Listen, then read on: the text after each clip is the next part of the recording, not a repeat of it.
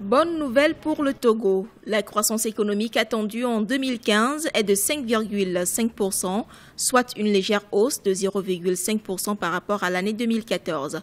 Ceci grâce notamment à Purise, projet d'urgence et de réhabilitation des infrastructures et des services électriques lancé depuis le 1er septembre 2009. L'activité économique devrait s'accélérer légèrement et la croissance devrait atteindre 5,5% en 2015 avec la réalisation de grands projets dans le domaine des transports et l'entrée en service de l'usine de Clinker. L'usine de Clinker, d'une capacité de 5000 tonnes de ciment par jour, et la réalisation des infrastructures routières ne suffisent pas pour atteindre les 5,5% de prévision de croissance attendue au Togo.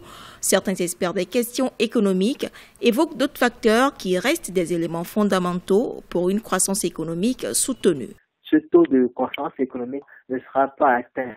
Pourquoi? Parce que quand on tient compte, par exemple au Togo, euh, des comptes extérieurs, les comptes dans les comptes extérieurs, prenons le, solde courant, c'est déficitaire, c'est autour de 7,7% pour, pour l'année 2015.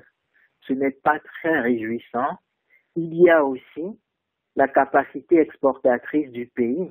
Il suffit que les prix des matières premières soient orientés à la baisse pour que les recettes d'exportation de ces matières premières se retrouvent contractées. Le taux de chômage des jeunes estimé à 6,8% en 2014, le taux d'impôt sur vente, la gouvernance publique et même la situation politique sont autant de facteurs qui influencent la croissance économique du Togo. Le pays doit réaliser beaucoup d'efforts, surtout à quelques mois de l'échéance des objectifs du millénaire pour le développement.